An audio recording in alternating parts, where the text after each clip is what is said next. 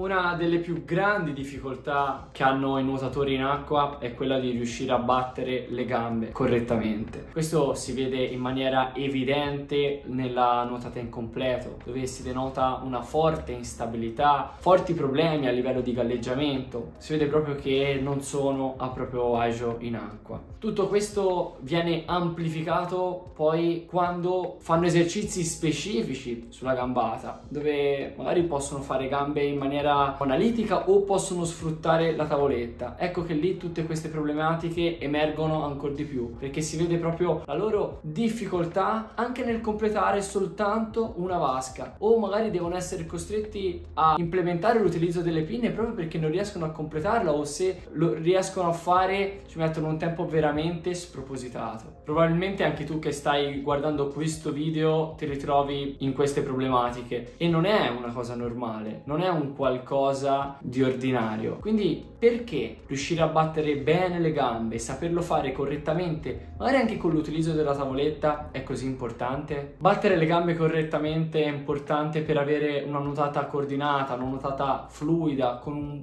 basso dispendio energetico e non saperle battere anche con la tavoletta ci evidenzia tutto quello che poi sono queste problematiche perché chi non riesce a farlo con la tavoletta logicamente poi quando tramuta il tutto all'interno di una nuotata incompleta, andrà incontro a queste difficoltà, avere un dispendio energetico veramente elevato, una nuotata serpeggiante, una tendenza ad avere le gambe che affondano. Motivo per cui se noi vediamo una persona che con la tavoletta non riesce a battere le gambe, in nuotata completa abbiamo la certezza che non si trovi a suo agio, che avrà sicuramente una nuotata scordinata e poco bilanciata. Infatti acquisire una corretta battuta di gambe è una skill importantissima ed imprescindibile imprescindibile, molto di più rispetto a quello di imparare a girare correttamente le braccia. Basti pensare che in qualsiasi corso nuoto la prima cosa in assoluto che viene insegnata è la battuta di gambe, ancora prima appunto dell'utilizzo e di saper sfruttare la bracciata. Ma allora ciò che in questo momento ti starei domandando è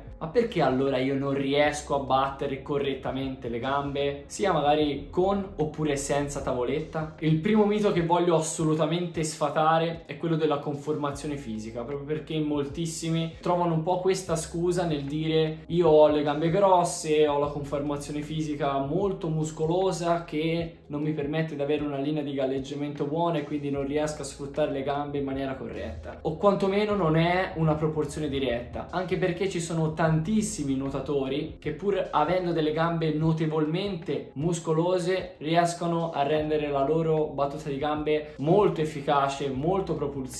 io compreso. Se c'è però una motivazione legata alla nostra conformazione fisica, ecco che questa può essere assolutamente quella della mobilità della caviglia. Infatti avere una limitata escursione articolare proprio sulla caviglia, quindi avere in un certo senso il piede a martello non ci permette di trasferire l'energia propulsiva generata dal nostro colpo di gambe in forza di avanzamento, proprio perché la spinta del piede non sarà ben indirizzata verso il dietro, che quindi poi ci permetterà di avanzare in maniera corretta, piuttosto il nostro piede andrà un po' a tagliare l'acqua rendendo completamente inefficace il nostro colpo. Però la colpa anche in questo caso non è solamente da imputare alla nostra mobilità della caviglia, bensì al saper sfruttare correttamente un colpo di gambe, che per l'appunto è un colpo di gambe che parte dal movimento dell'anca, dal movimento della nostra coscia per poi trasferirsi quasi come se fosse una frusta al nostro piede. Ecco che se in questo caso noi non siamo in grado di generare un colpo come quello che ti ho descritto in questo momento, ci ritroveremo semplicemente a sgambettare, a scalciare, mantenendo la nostra anca rigida e quindi logicamente il piede non potrà avere quell'efficienza generata da un colpo completo. In poche parole non saremo in grado di generare energia dalla nostra anca e poi trasferirla al piede che poi logicamente non riuscirà a prendere acqua. Ma quindi com'è possibile risolvere tutto questo? Di base devi imparare a battere le gambe correttamente e per farlo devi fare esercizi specifici affinché tu possa ricostruire da zero il tuo schema motorio della gambata. E tutto questo non si risolverà assolutamente facendo serie a sfinimento di gambe dove magari utilizzo anche la tavoletta piuttosto che le pinne. Quindi se ti ritrovi in questa situazione nelle condizioni situazioni che ti ho descritto prima, il mio consiglio è quello di buttare via direttamente la tavoletta. Questo perché se da un lato la tavoletta permette di avere un galleggiamento maggiore, dall'altro lato va a ridurre fortemente la tua escursione articolare a livello dell'anca. Oltretutto tutto questo verrà aggravato ulteriormente se poi utilizziamo la tavoletta con la testa fuori, quindi ci aggrappiamo al bordo anteriore con le nostre mani e quindi teniamo la testa alta per respirare. Bisogna pertanto ripartire dalle basi,